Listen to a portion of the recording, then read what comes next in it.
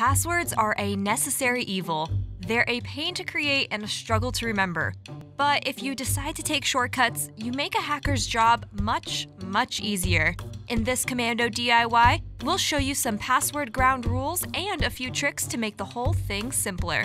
First, some ground rules for your next password. It should have letters both uppercase and lowercase, numbers, and symbols. Make it at least 8 characters long. It cannot be a repeat you've used before for any account. That's a tall order. How can you create a complex password that no one can guess? Start by thinking up a random sentence. Use a catchphrase, quote, or even a song lyric.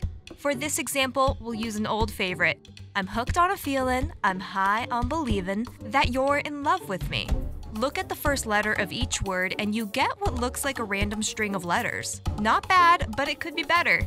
So replace a few letters with symbols. Create a consistent code you'll remember and can use with all your passwords.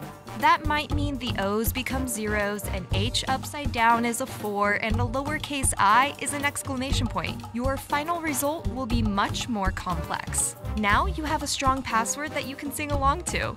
Now, if you have dozens of accounts like most of us do, even using this system can be too much. That's where a password manager comes in. It keeps your password secure, and you only need to remember the one to open it. For more password security tips as well as answers to all your tech questions, head to komando.com.